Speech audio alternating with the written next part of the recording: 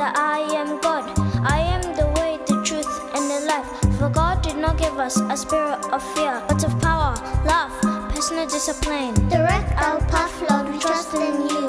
We trust in you with all our heart. Happy Easter!